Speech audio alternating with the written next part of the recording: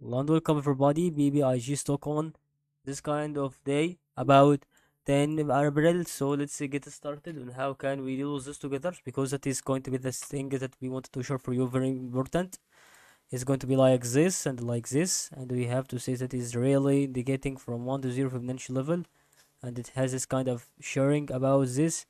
on 26 cents and 1 USD and 80 cents and increasing in momentum and then decrease and then decrease however it's all depending on how can this be and how much it can go for a close moments for what we wanted to share for you from the start to the end on this stock. And it's really very good to be likely having the same thing that is not going to be stopping it anymore from what we wanted to have. The size of this stock because it's really the thing that want to happen. If you have to consider that yourself not going to be having a star uh, thing that is attaching it and not going to be blowing it in this mind.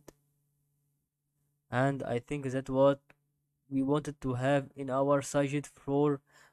explaining a lot of things about bbig absolutely that was amazing about explaining because that was really very good for what we wanted to share for you on bbig and that what I wanted to explain for you in this kind of video about this value because if you see here on 24 USD sorry 24 cents and it's still stretched for me here and didn't rise up yet and it goes to be like this